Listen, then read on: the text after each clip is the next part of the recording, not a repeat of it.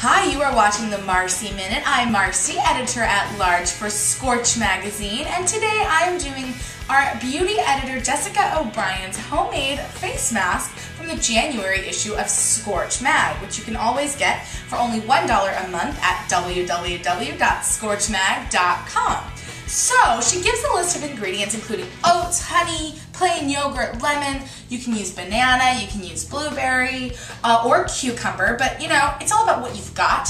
And we're just gonna whip up a sweet little mask that's gonna help, you know, promote freshness and shiny goodness on the face. So my face is prepped and primed, just barely washing out of the shower. I am gonna take just one tablespoon of oats, toss it in.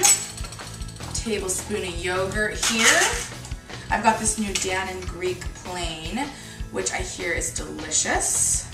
Haven't tasted it yet. Add a little honey. And now a lemon, and you want to make sure to use a real lemon. Squeeze a little lemon in and mix. Now it may not look like very much, but a little goes a long way. Now a great little tip that I've learned is that you can take a common trash bag, put a couple holes in it, and you've got yourself a great coat or poncho so you don't get your face mask all over the place. We're not doing a full body. This is also great when you're dyeing your own hair at home or when you're doing any sort of project like also in the magazine we've got the egg and the avocado hair masks so you can always use this trash bag to protect your body from the other elements. So here I go. I'm to lather on my face mask. Okay, people. I'm using... Uh, now lather on your mask and you are good to go. Most face masks you leave on for 5 to 10 minutes and then wash. So I'm going to sit, relax, and enjoy the smell. Uh, I might even eat it.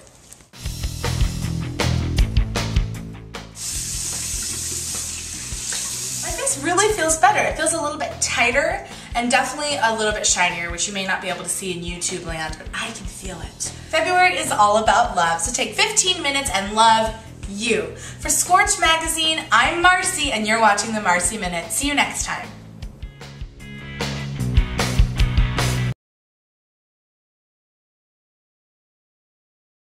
I don't know. With my hand?